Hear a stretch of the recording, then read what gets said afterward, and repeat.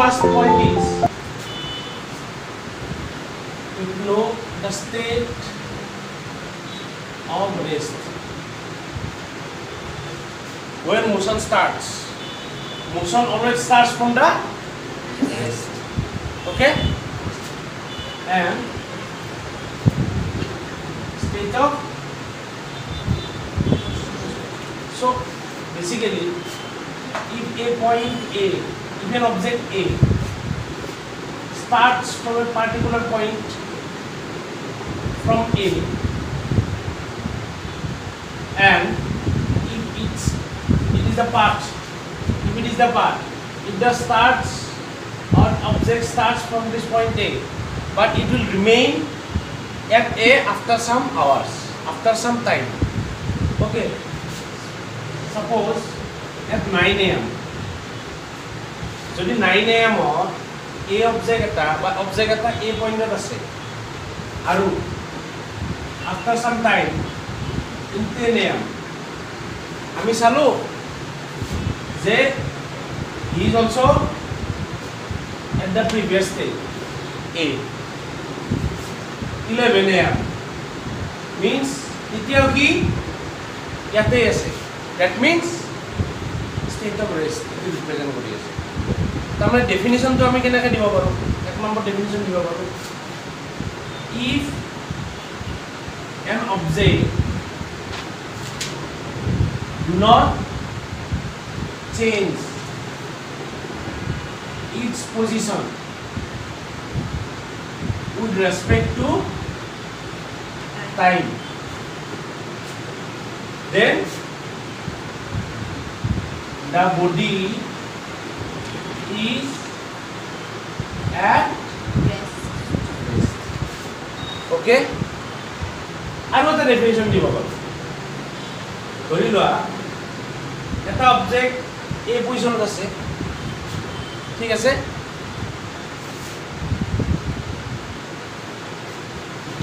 মানে Kwid respect to time এটা আমি ডেফিনিশন আছে আর এটা আছে যদি এই পজিশনত থাকে এর অসর অসর কি আছে या सराउंडिंग तो असन काय हां सराउंडिंग तो जदि ए माने ऑब्जेक्ट इयर पर जाय पले ई ए टू पाए इयर सराउंडिंग तो की हो जाबो इटू सराउंडिंग हो जाबो द न्यू सराउंडिंग आइ जाबो रे न that means surrounding also matters in case of motion ता माने जदि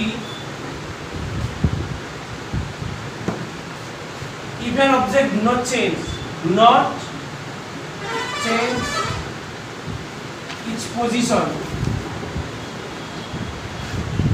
with respect to its surrounding. Then it is also rest. Is you are clear? The concept of rest is state of rest means if an object do not change its position with respect to time or do not change its position with respect to its surrounding. surrounding. Then it is called a rest. It's simple concept. Next, uh, state of motion. Opposite of this. Okay? Opposite. Changes its position. Huh? Changes position with respect to its surrounding and time. That is the concept of state of motion. Okay? মই যিখিনি materials দিছোঁ সেই মেটেৰিয়েলছৰ পৰা তোমালোকে নোটছখিনি লিখি ল'বা ঠিক আছে ঠিক আছে এইখন মেটেৰিয়েলছ দিছোঁ নহয় বুজিছনে যদি আহ, তোমালোকে ডায়েগ্ৰামকেইটা অলপ উল্টা উল্টাকৈ পাইছিলা মোক লগা হ'লে এইটো চাৰ ওপৰত দি দিম আজি ঠিক আছে একবাৰ চাই ল'বা একদম ধুনীয়াকৈ দিয়া আছে ইয়াত Okay. So there is a concept of system resonance in the motor system. First point. But see, one common point is this. rest and motion both are interrelated. Interrelated.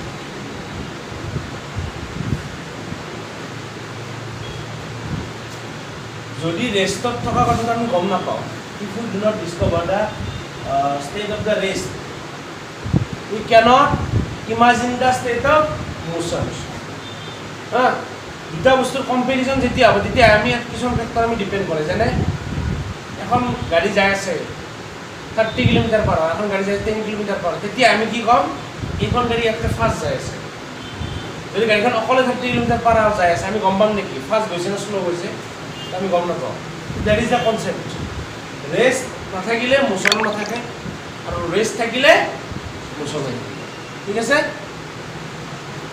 তো সেইটোৱে মেইন পইণ্ট এই দুটাৰ মাজত okay next types of মোচন এইখিনি হ'ল concept যদি আমি চাওঁ types of motion what are different types of motion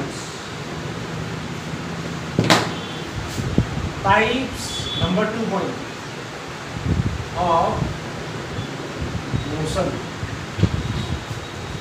number one is linear motion okay huh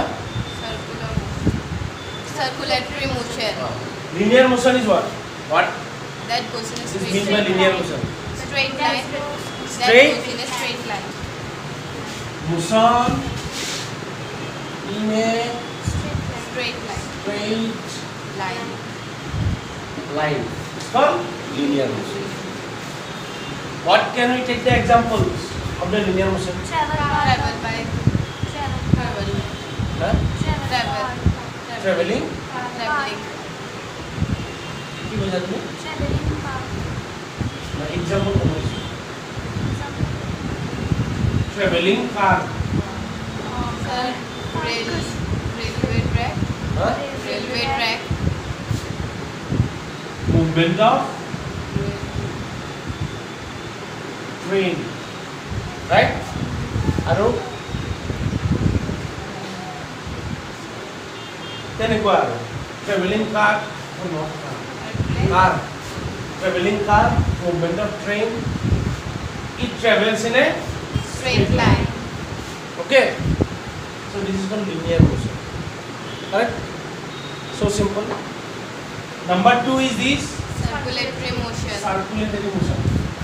Circulatory motion.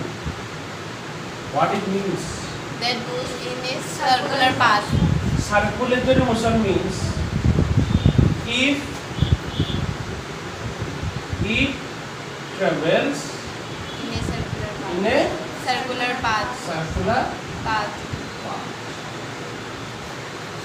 Looks like this. Okay?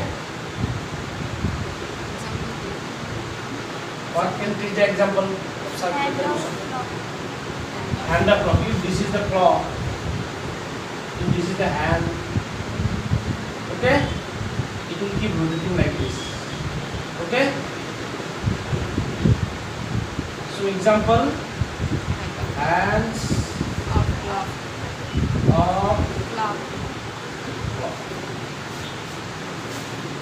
Okay. And again. Pendulum. Pendulum. Blades of a fan. Okay. So these are circular motions. Number three. Oscillatory Oscillatory motion. Oscillatory motion or to and four movement like and fro movement will be To and fro. To means to and fro means what type of movements are to and fro. Suppose a pendulum. How pendulum moves? Huh?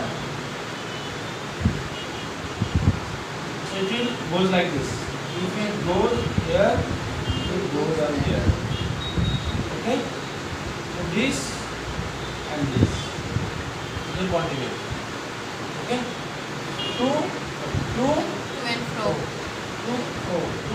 like that. Okay, it's called oscillatory motion, and this is caused by oscillations, vibrations.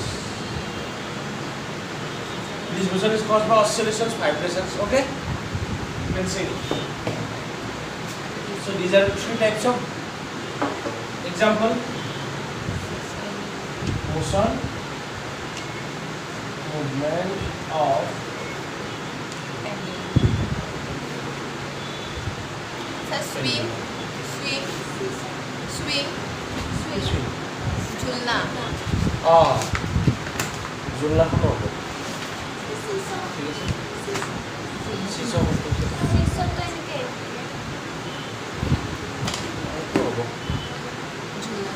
Okay তো designer call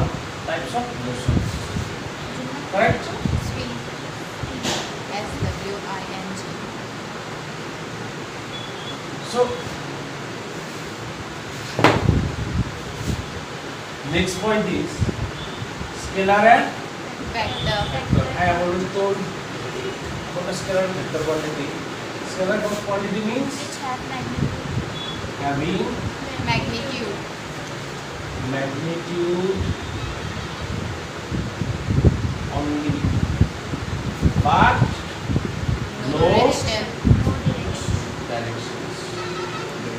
Vectors means? Magnitude. Having, having both magnitude and direction. Both? Magnitude, and direction. And? Direction. Examples of magnitude but no direction is? What kind of uh, quantities? What are the scalar quantities? Can you give an example? Like distance. Yeah, distance. velocity of the velocity vector of the अब यार example क्या हुआ displacement velocity displacement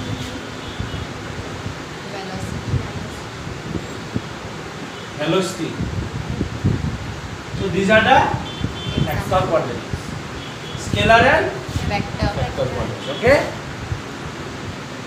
scalar have only magnitude not directions Suppose if we uh, say the odd distance, it represents the only magnitude length of the part. But it does not direct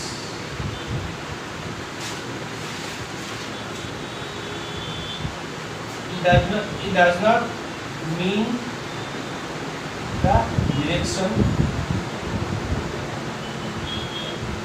of the path okay because length length বুলি ক'লে আমি only এটা বস্তু ইয়াৰ পৰা ইয়ালৈ কিমান length আছে সেইটো বস্তু ই যেনেকৈ নাযায় বেছি দূৰত যায় কম দূৰকৈ যায় হা শ্বৰ্টকাটত যায় লং কাটত যায় it does not matter for us আমাক খালি লাগে কি কিমান লেংথ গৈছে সেইটো আমি ডিষ্টেঞ্চ বুলি but in case of displacement আমি যদি এই পইণ্টৰ পৰা আমি ষ্টাৰ্ট কৰোঁ এৰ পৰা বিলৈকে গ'ল বিৰ পৰা চিলৈকে গ'ল ডিছপ্লেচমেণ্টে কি ক'ব এর পৰা ডিসপ্লেসমেন্ট কি হবে এর পৰা সিলৈকে ডাইরেক্ট কিমান হ'ব এইটো ডিসপ্লেসমেন্ট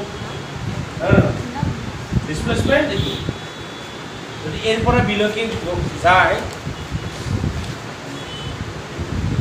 এর পৰা বিলৈকে যায় এটা অবজেক্ট বিৰ পৰা সিলৈকে যায় তেতিয়াহ'লে কি হ'ব এর পৰা সিলৈকে ডাইৰেক্টলি ডিসপ্লেসমেন্টটো বুজাব because it is the shortest distance একেলগে ইয়াৰ ডিসপ্লেসমেন্টৰ কনচেপ্টটো দি দিওঁ displacement is the shortest distance shortest distance between initial and final point and final position final position ইয়াৰ পৰা ডাইৰেক্ট ইয়ালৈকে যদি যাওঁ ডিছপ্লেচমেণ্টটো বুজায় এতিয়া আমি যদি ডিচপ্লেচমেণ্টৰ কথা চাব লাগে আমি ডিৰেকশ্যনটোৰ ওপৰত মেটাৰ কৰিব যে আমি যদি এনেকৈ যাওঁ তেতিয়া ডিচপ্লেচমেণ্টটো আমি পাই যাম ডিৰেকশ্যনটো চেঞ্জ হৈ গ'ল ডিষ্টেঞ্চ যেনেকৈ গৈছিল ডিছপ্লেচমেণ্ট চেঞ্জ হৈ গ'ল ঠিক আছে তেনেকুৱাকৈ ডিচপ্লেচমেণ্ট ডিৰেকশ্যনৰ ওপৰত ডিপেণ্ড কৰি আছে হয় হয় ন আৰু ডিষ্টেঞ্চটো কি ডিষ্টেঞ্চটো কৈছে যিমানে নাযাওঁ যিমানে নাযাওঁ ইয়াৰ পৰা ইয়ালৈকে কিমান গৈছা ইয়াৰ পৰা ইয়ালৈকে কিমান গৈছা এইখিনি টোটেল লেন্থ লেন্থ প্লাছ কৰা total path travel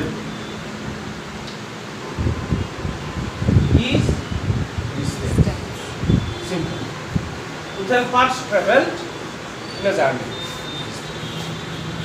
So it is independent of the direction. Clear? Here displacement will be factor quantity.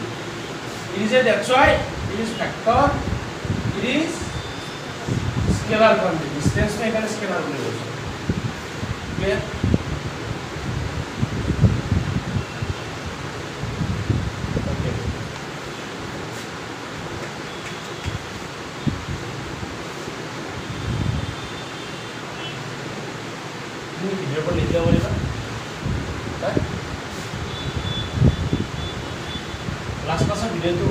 চিনি পোৱা হৈছিলে চিনি পোৱা হৈছিলে তাৰ চোৱা নাই তুমি এনে কৈছিলে সঁচাই জানেনে চিনি পোৱা হৈছেনে নাই পিকচাৰটো লিখিব পাৰিতো চাই পেলাই হা? Uh, so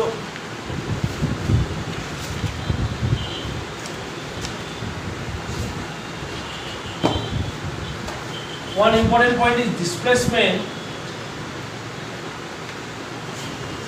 can be equal to distance when displacement or distance kitiya equal hobo kitiya dota point equal hobo jetiya eta object er pora arambho koribo ar beach ta hobo only atai er konor belek direction nai er pora belek jekini koise yate er pora yaloki distance iman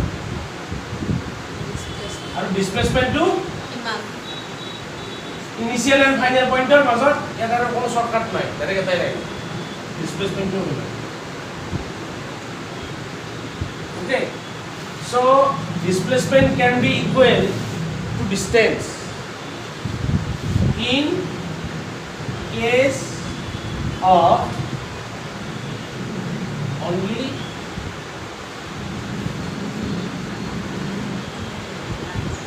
straight line part. যদি only এটা straight line পাথত যায় distance আৰু ডিছপ্লেচমেণ্টটো কি হ'ব Number one point. Number two point. Displacement can be zero. Right? Displacement can be zero. It is zero about if initial and final point are same. That is the basic concept about the displacement. Okay?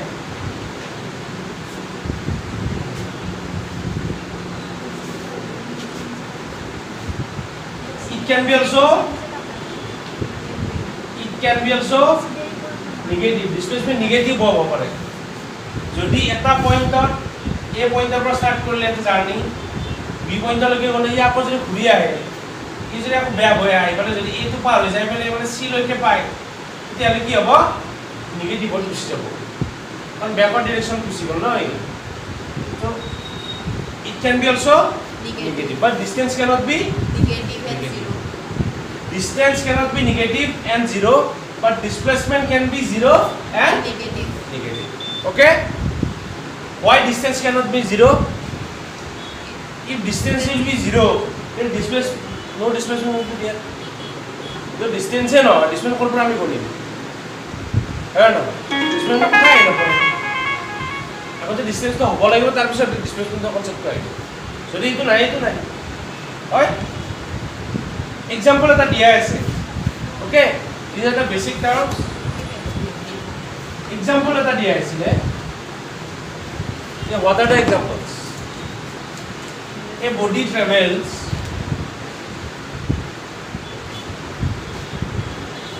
a body A travels in a semicircular path of radius 10 centimeter. ইয়াৰ পৰা ইয়ালৈকে ten centimetre radius okay আৰু আমাক কৈছে যে ইয়াৰ পৰাই বিলৈকে movement কৰে semi circular মোচনত আমাক উলিয়াব দিছে ডিষ্টেঞ্চ আৰু ডিছপ্লেচমেণ্ট ডিষ্টেঞ্চ কিমান আৰু ডিছপ্লেচমেণ্ট কিমান কব পাৰি মানে first of all this is semi circle semi চাৰ্কুলত আমি ফাৰ্ষ্ট হেৰি জানিব লাগিব পেৰিমিটাৰ জানিব লাগিব পেৰিমিটাৰ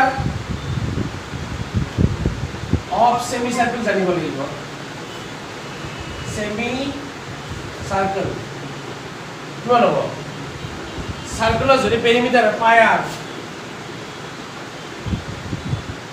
চেমি চাৰ্কুল হ'ব পাই হ'বতো হয় নহয় ই যদি ইয়াৰ পৰা এনেকৈ যায় ইয়াৰ লিমিট চেমিচেলটোৰ পাঠত গৈছে মানে পেৰিমিটাৰণ্টা যিটো পেৰিমিটাৰতে চেমিচাৰকেল হ'ব পেৰিমিটাৰ মানে কি part travel in the boundary okay part travel in the boundary এইটো চেমিচাৰকেলৰ ডিষ্টেঞ্চটো ইয়াৰ পৰা এনেকৈ মুভমেণ্ট কৰিছে চব পাই আৰ বাই টু হ'ব পাই আৰ বাই টু পাই মানে কিমান twenty two by seven R মানে টেন টু টুৰে ইটো ফাইভ দহ যাব twenty two into five by seven that is the distance it will be like thirty one point four metre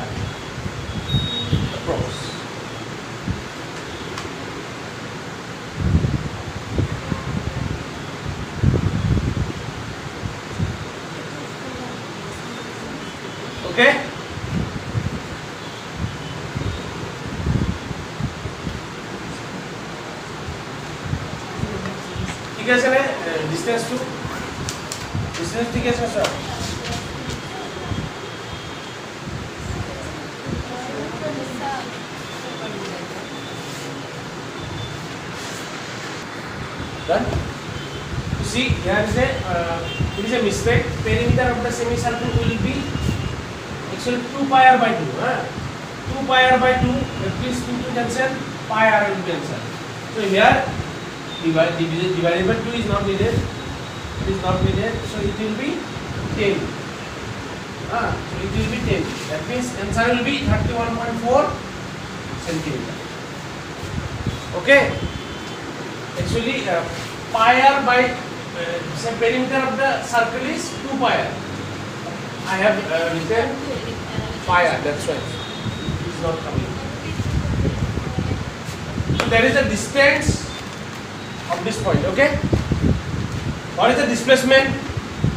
In distance between shortest distance initial and final point. Initial point is this, final point is this. So ultimately, displacement is the shortest. A to B direct in a straight line will be the shortest part. So ultimately, this means diameter. displacement equal to 2 into diameter of the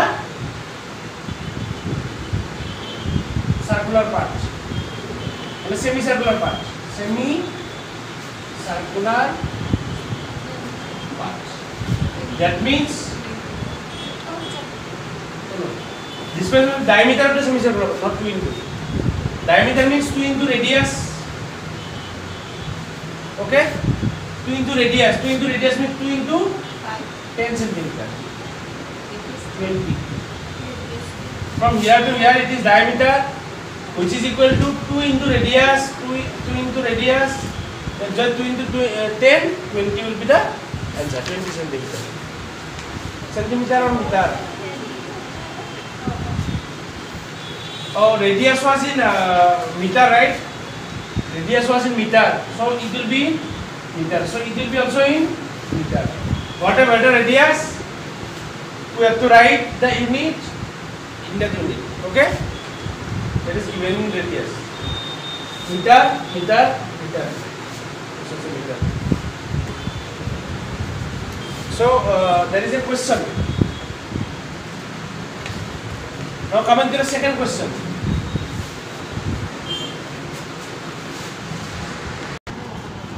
In the next question, is given that A body travels 4 km towards the north. Huh? A body travels 4 km towards the north. Hulilwa point to Orpura start. You see. Body to Orpura or Tristorasi, the Orpura start. What is it? Zandi. North Orpala goes up 4 km. 4 km. Then turn to his right. Right for a turn, we say. Below goes 4 km. 4 km. Time sorry, rest to the year E rest ইয়াৰ ইয়াৰ পৰা যোৱা নাই okay এতিয়া আমাক কৈছে যে what is the total distance and total displacement পাৰিবা total displacement কিমান হ'ব distance The total OA path plus length travel by the body four plus four plus OA plus eight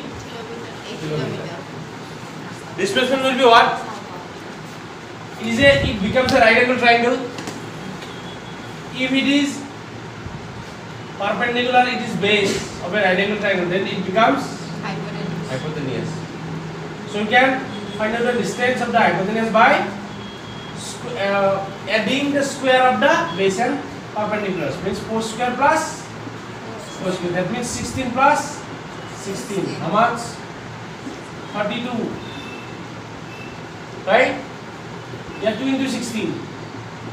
Right? Root over 16 means 4. And root over 2 is root over 2 only. That is the answer.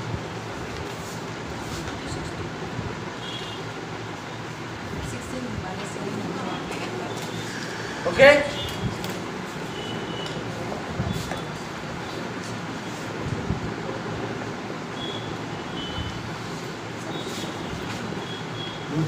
4 square plus 4 square root over 16 plus 16 root over 32 and 4 root 2 kilometer. If we have to find out the figure then we have to uh, solve it approximately it will be like 5.65 kilometer. If I, uh, putting the value root 2 1 point something if you uh, take the value of root 2 it will be 1.14 like that but if you multiply you will get approximate 5.65 okay বুজি পালা নাই তো এনেকুৱা question আহিব পাৰে আগৰ নিচিনা question আহিব পাৰে চাৰ্কুলাৰ এইটো হ'ল ৰাইট এংগল ট্ৰাইংগল Displacement বুজি পোৱা নাই। ডিচমেণ্ট কি এটা এটা পইণ্টৰ পৰা গৈছে এনেকৈ চাৰি কিলোমিটাৰ এটা পইণ্টৰ পৰা এনেকৈ গৈছে চাৰি কিলোমিটাৰ ই গৈছে মানে কি নৰ্থত গৈছে মানে কি নাইণ্টি ডিগ্ৰীত যোৱা নাই চিধাই গৈছে ন আৰু চিধাই ঘূৰিছে ন কাৰণ ষ্ট্ৰেইট লাইন ডিৰেকশ্যনটো আমি ধৰোঁ ঠিক আছে এইটো ষ্টাৰ্টিং পইণ্ট ষ্টাৰ্টিং পইণ্ট এইটো আৰু এণ্ডিং পইণ্ট চ' ডিছপ্লেচমেণ্টটো কি হ'ব directly shortest distance of one line. Starting and ending point is shortest distance. Okay? So ultimately what it will be? What is the value of this? If it is a right angle triangle, how we can do? Pythagoras theorem. জানো না Pythagoras theorem কি? If in Pythagoras theorem, Pythagoras theorem says that hypotenuse square equal to perpendicular square plus base square. Base square. That means hypotenuse equal to root over perpendicular square plus base square plus. So here perpendicular is 4 and base is 4. That means root over 32 plus 2. বুঝি পালা এবার Pythagoras theorem পাইছার নাই হ্যাঁ পয়সা বলেননি যদি বেছ কিমান থাকে পাৰ্পাৰ্টিকুলাৰ ইমান থাকে ইটোক স্কুৱেৰ আৰু এইটোক স্কুৱেৰ কৰি প্লাছ কৰি দিম দুটকাৰ ভিতৰত ৰাখি দিম বাছ মানে এইটো ওলাই যাব মানে এইটো হ'ল Pythagoras theorem is this this is the Pythagoras theorem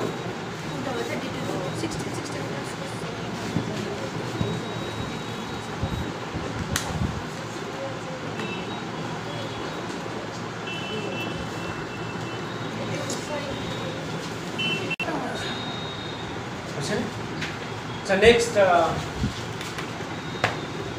so to find out the square root this is the method okay you can see if you don't understand then ask me okay later on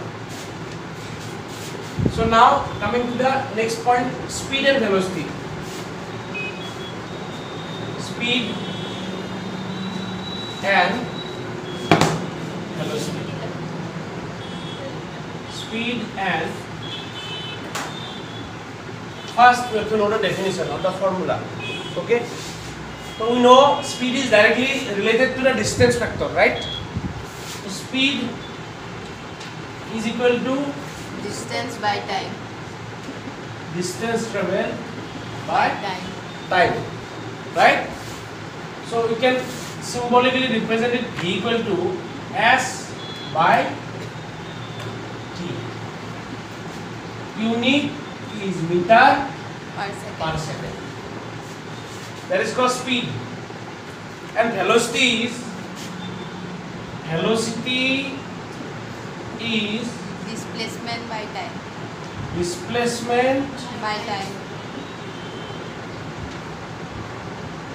By time. Time. Okay. This also we can represent equally as by time. Okay? Speed velocity, what can be represented by? S by Q. T. T. Speed or velocity. And displacement or distance can be, uh, suppose it can be expressed by S, D, like that. Okay? And time is T. Equal to D by T also, equal to S by T also. Okay? So that is the basic formula for speed and velocity. Since distance is a vector, sorry, scalar, since distance is a scalar quantity, so ultimately speed is also a scalar quantity. There is a big difference of speed and velocity. Difference first difference is speed equal to distance by time, velocity equal displacement by time. Is a difference.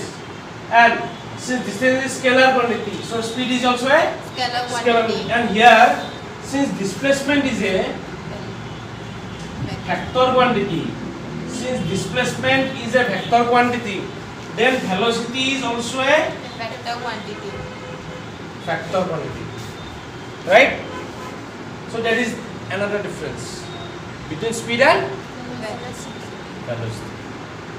but there one similarity is there unit is same same meter per second second okay. Metre per second unit is same both velocity speed okay so is the point clear can write down this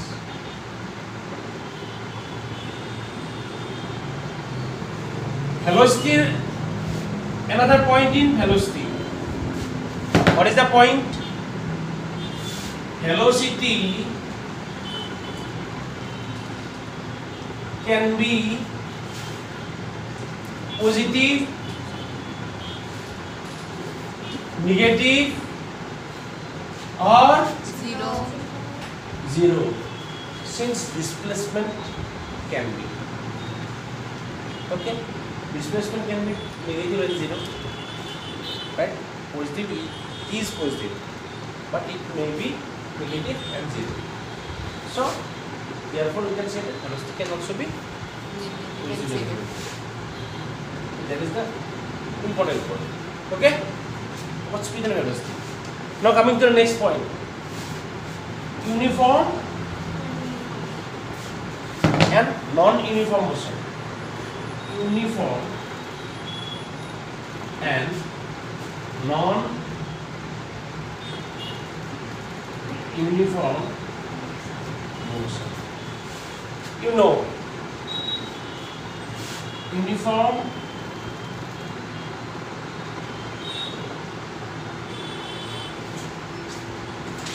if body travels same distance same interval of time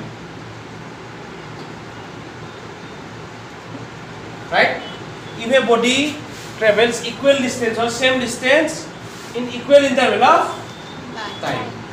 That is called uniform motion.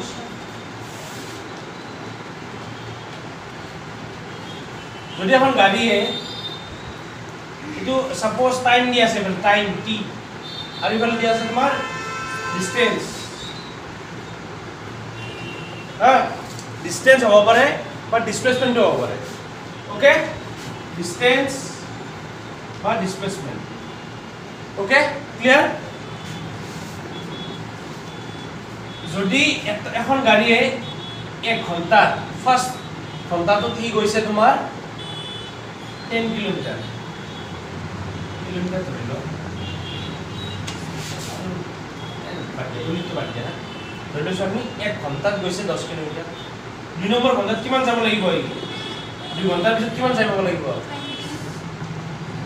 after two hour cover in two been in মোৰ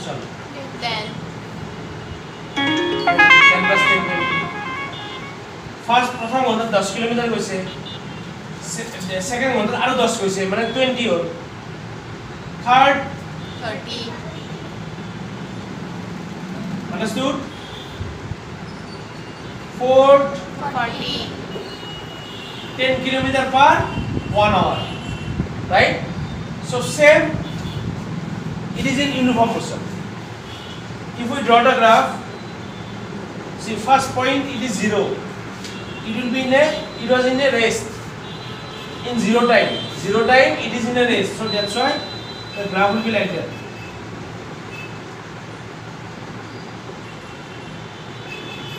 বুজি পাইছা আমি join কৰি দিওঁ এইকেইটা point মানে ten one this point one ten one ten two twenty three thirty four forty if you join this point you will get this curve okay and that is the graph for uniform Motion.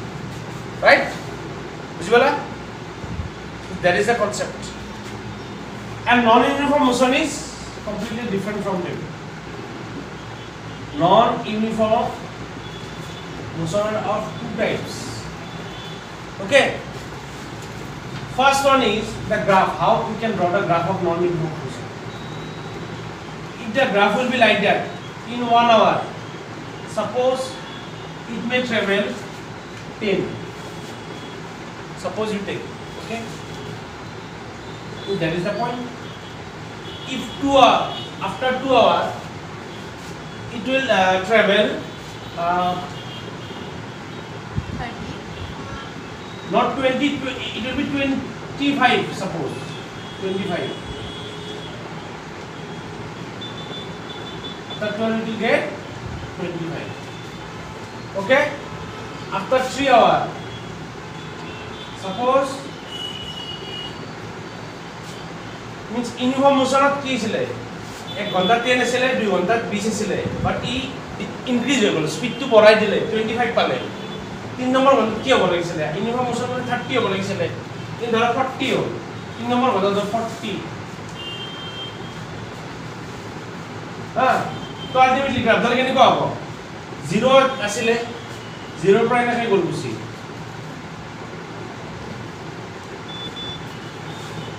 Okay তো কি হল এ তো continuously continuously কি হয়ে গেল most important point continuously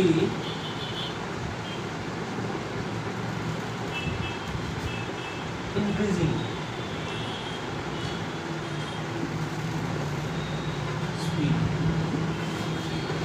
speed তো বাড়ি যায় নাই তো কন্টিনিউয়াস ইনক্রিজিং স্লোপ এই যিটো ইটো যিটো আছিলে এই বস্তুটো এইটো কি বুলি কয় জানা এইটো কয় শ্লোক বুলি কয় শ্লোক হা শ্লোক এই শ্লোকটো ইউনিফৰ্ম বস্তু যিমান আছে ফিক্স থাকে একে একে থাকে ন বস্তুটো হা ৱাই বাই এক্স আমি শ্লোকটো উলিয়াব লাগে আমি কি কৰোঁ ৱাই যিমান কৈছে এক্স যিমান কৈছে সেইখিনি ডিভাইড কৰি দিওঁ হা ৱাই বাই এক্স ইমান কিমান কৈছে ই কিমান গৈছে সেই বস্তু ডিভাইড কৰি দিওঁ যদি ইনক্ৰিজিং হৈ যায় ইনক্ৰিজিং হোৱা মানে কি হয় কোৱাইটো বাঢ়ি যাব এতিয়া শ্লপটো বাঢ়ি যাব slope will slope increases it is in case of non uniform motion non uniform it is the motion of non uniform number two continuously increasing motion বুজি পালা গ্ৰাফডাল এনেকুৱা হ'ব যদি কণ্টিনিউৱাছলি ইনক্ৰিজ হয় স্পীডটো বাঢ়ি যায় থাকে অলপমান শ্ল' শ্ল' যাইছে আৰু স্পীড দিলে তাত আৰু স্পীড দিলে আৰু স্পীড দি যাই আছে ত' এইটো কনফিউজ ইনক্ৰিজিং স্পীড হ'ব আৰু শ্লপটো ইনক্ৰিজিজ হৈ যাব শ্লপ মানে কি এই পইণ্টটো এতিয়া ratio of dis and dis বুজিছা ৰেচিঅ' অ'কে কণ্টিনিউৱাছলি ইনক্ৰিজিং আৰু যদি ডিক্ৰিজিং হয় উল্টা ধৰা স্পীডটো কমি গ'ল নহ'লে নোহোৱা হ'লে কি হ'ব চেম থাকিব নোৱাৰে হয়তো বাঢ়ি যাব হয়তো কমি যাব ত' ডিক্ৰিজিং হ'লে কি হ'ব যদি ফাৰ্ষ্ট আৱাৰত ইয়াৰ আছিলে টেন মানে ইয়াতে পইণ্ট হৈছিলে ফাৰ্ষ্ট আৱাৰত অ'কে ইফালে চাই ইফালে চাওক নেক্সট আৱাৰত কি হ'ব ডিউটি হ'লে কি হ'ব কমি যাব ই আগতে যাব লাগিছিল ইউনিফৰ্মতে টুৱেণ্টি ই ধৰা এইবাৰ টুৱেণ্টি নাপালে দুই ঘণ্টাৰ পিছত ই পালে ফিফটিন মানে ইউনিট পালে হয় আফটাৰ থ্ৰী আৱাৰ 30 ধৰা কমি কমি গল পাব লাগিছে থাৰ্টি ইউনিফৰ্ম মতে কিন্তু পালে কিমান ফিফটিনৰ পৰা ধৰা তোমাৰ পালে 25 পালে ধৰা 20 ধৰিলো আৰু কমি গল টেন আছিলে ফিফটিন হল ন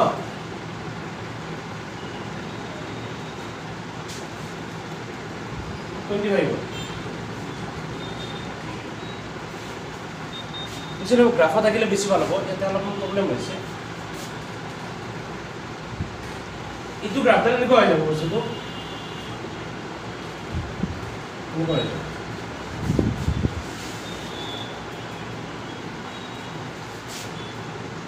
ইয়াতে ভাল হোৱা নাই কাৰণ ইয়াতে তলফালে হাৰি যাব ওপৰফালে উঠি গৈছিলে তলফালে হাৰি যাব মানে because slope continuously decreasing speed slope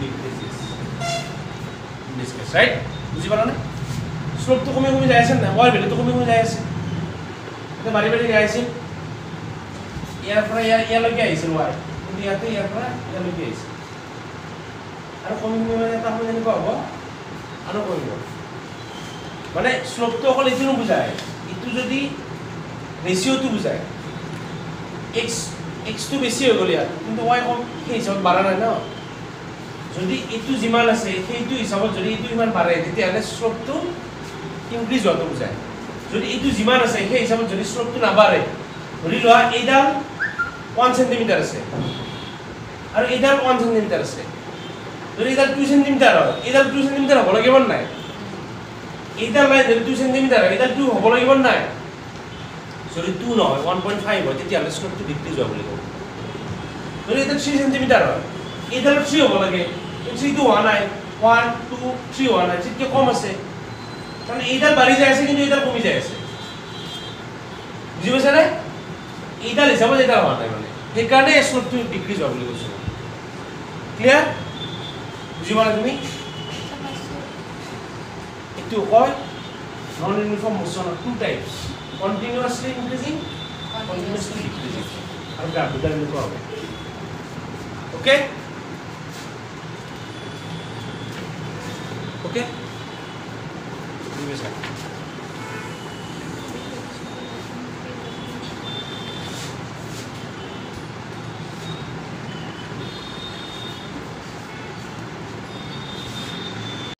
So last,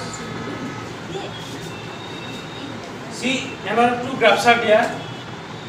If we see about non-uniform motion, okay, we have got that it is of two types, continuously increasing, okay. So another two types, or mainly uh, two types of non-uniform motion is accelerated motion and decelerated motion. So what do you mean by accelerated motion. So basically,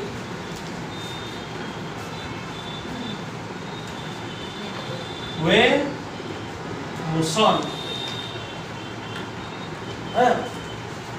so the movement to he basically increases with time, when motion increases,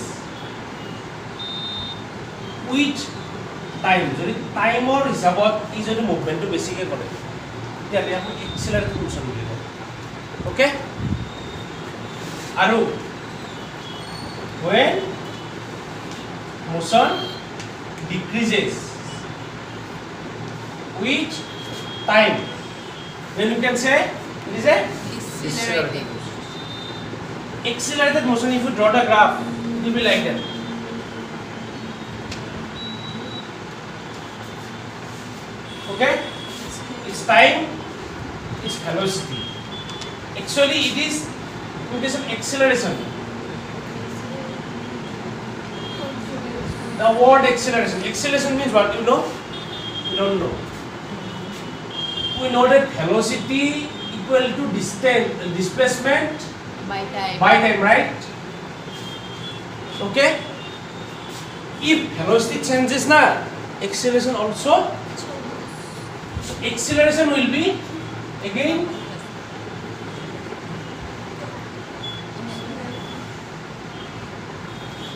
change in velocity by time. The velocity displacement by time and acceleration means change in velocity by time. গাড়ী এখনে প্ৰথম ঘণ্টাত দহ kilometre পাৰ আৱাৰত যাই আছে next ঘণ্টাত বিশ kilometre পাৰ আৱাৰত গ'ল হা হ্যাঁ? তাৰে পিছত তোমাৰ থাৰ্টি কিলোমিটাৰ মানে বাঢ়ি বাঢ়ি যাই আছে টেন টুৱেণ্টি থাৰ্টি হ'ল হা স্পীডটো বাঢ়ি যায় না তাৰ তাৰমানে কি বুজাই আছে এতিয়া কি বুজি ভেলচিটি চেঞ্জ হৈ আছে প্ৰথম ঘণ্টাত ভেলচিটি যদি টেন আছিল ছেকেণ্ড ঘণ্টাত ভেলচিটি কিমান হ'ব টুৱেণ্টি হ'ল চেঞ্জেছ ভেলচিটি না চেঞ্জ ইন ভেলচিটি কিমান ঘণ্টাত চেঞ্জ কৰিলে ভেলচিটি এক ঘণ্টাত নে দুই ঘণ্টাত time factor change in velocity বা টাইম যদি কৰোঁ আমি এক্সেলেশ্যনটো বুজাওঁ তাৰমানে এক্সিলেণ্টটো যদি বাঢ়ি যায় তাৰমানে কি হ'ব স্পীডটো সি বাঢ়ি যায় আছে স্পীড যিমানে বাঢ়ি যায় আছে তাৰ ভেলচিটি চেঞ্জ হৈছে along with that acceleration change হৈছে যদি সেইটো স্পীড বাঢ়ি যায় থাকে তেতিয়াহ'লে সেইটো এক্সিলেশ্যন বুলি কওঁ এক্সিলেটেড মোচন হ'ব যদি তেনেকৈ বাঢ়ি যায় থাকে এক্সিলেশ্যনটো মানে চেঞ্জ ইন ভেলচিটিটো যদি বেছি হৈ যায় মানে প্ৰথম ঘণ্টাত দহ আছে ছেকেণ্ড ঘণ্টাত বিছ হ'ল ডিফাৰেঞ্চ কিমান টুৱেণ্টি চৰি টেন ছেকেণ্ড প্ৰথম ঘণ্টাত দহ আছিল এইবাৰ যদি থাৰ্টি হ'ল তেতিয়াহ'লে কিমান হ'ল ডিফাৰেঞ্চ টেনৰ পৰা টুৱেণ্টি এবাৰ টেনৰ পৰা থাৰ্টি এবাৰ কিমান হ'ল কোনটোত বেছি হ'ল থাৰ্টিত বেছি হ'ল ইয়াতে এক্সেলেটেড হৈ গৈছে এক্সেলেটেড মোচন হ'ব এইটো বুজি পাইছা এইবাৰ টেনৰ পৰা টুৱেণ্টি পালে হা এইবাৰ টেনৰ পৰা ফিফটিন হ'ল মানে টুৱেণ্টিৰ পৰা ফাইভ টুৱেণ্টি ফাইভ হ'ল কমি গ'ল নে নাই আগতে টেন কিলোমিটাৰ পাৰ আৱাৰত গৈছিল এইবাৰ গ'ল ফাইভ কিলোমিটাৰ পাৰ আৱাৰত কমি গ'ল তেতিয়াহ'লে আমি ডিচিপ্লিনটো মোচন হ'ব তো সেনেকুৱাকৈ ইনক্ৰিজ হৈ যায় দিলে চ' এক্সিলেশ্যন এইটো এক্সিলেশ্যন that is the concept of acceleration change in velocity by time ইটো আমি কেনেকে মানে ফৰ্মুলাত আমি লিখিব পাৰোঁ see suppose u beta initial velocity মানে ফাৰ্ষ্টতে যিটো ভেলচিটি যাই আছিল ভি বিটা ফাইনেল ভেলচিটি লাষ্টত সি যিটো ভেলচিটি যাই আছে লাষ্টত জাৰ্ণিটোৰ লাষ্টত তেতিয়াহ'লে এক্সিলেশ্যন কি হ'ব A equal to V minus U by T হব টি মানে টাইম ভি মানে সি বাই টি ওকে এই গলো ভি মানে C by T unit is unit is metre per second square হব এক্সেলারেশন হেলো স্পিড আছিল মিটার পার সেকেন্ড এক্সেলারেট কি হব মিটার পার সেকেন্ড স্কয়ার আৰু সেই বস্তুটোৰ কনচেপ্টৰ ওপৰত বেছ কৰি এক্সেলাৰেট এণ্ড ডিচেলাৰেট মোশ্যনটো আহিল আমাৰ ইয়াৰ গ্ৰাফডাল এনেকুৱা হ'ব আৰু ইয়াৰে গ্ৰাফডাল যদি আমি চাব যাওঁ এনেকুৱা হ'ব ডিক্সনাৰীবিলাক তোমাৰ এনেকুৱা হ'ব মানে ভিটো কমি যাই আছে স্পীডটো কমি যাই আছে right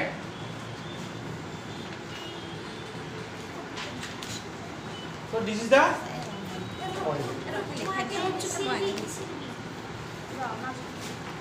এইটো ফৰ্মুলা লাগিব তোমালোকক আৰু লগতে আৰু দুটা ফৰ্মুলা দৰকাৰ হ'ব এইকেইটা মই দি দিছোঁ পাঁচটা মিনিট কৰি দিওঁ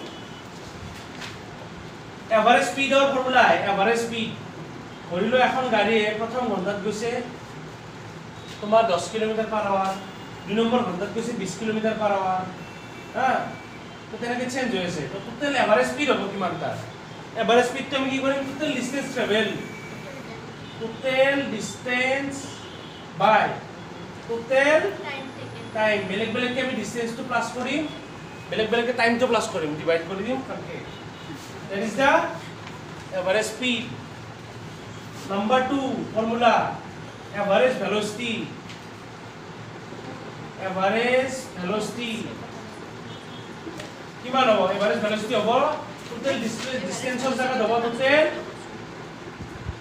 displacement by total time okay ako okay. এটা কণ্ডিশ্যন আছে এভাৰেজ ভেলচিটি এইটো মানে যদি ইউনিফৰ্ম মোচনৰ কাৰণে হয় বা এইটো নন ইউনিফৰ্ম মোচনৰ কাৰণে এইটো এইটো এক্সেপশ্যনেল কেচ নন ইউনিফৰ্ম যদি হয় তে আমি এভাৰেজ ভেলচিটি এইটো ধৰিম চোৱা চোৱা যদি আমাক কয় যে মোচনটো নন ইউনিফৰ্ম হয় মানে ছিমিলাৰলি ইনক্ৰিজ হোৱা নাই বা ছিমিলাৰলি ডিক্ৰিজ হোৱা নাই নন ইউনিফৰ্ম মোচন হ'লেহে আমি এভাৰেজ ভেলচিটি ডিছপ্লেচমেণ্টৰ কাৰণে টাইম ধৰিম হা বহুতে এই দুটা বস্তু গণ্ডগোল লাগে যদি আমাক কয় যে ইউনিফৰ্ম মোচন হ'লে আমি কি কৰিম ইউনিফৰ্ম মোচন হ'লে আমি কি কৰিম ইনিচিয়েল ভেলোচিটি মানে u plus v by two কৰি দিম এইটো অনলি ফৰ ইউনিফৰ্ম মোচনৰ কাৰণে হ'ব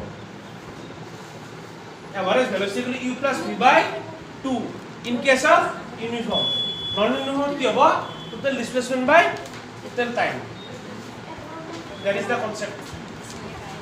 Okay?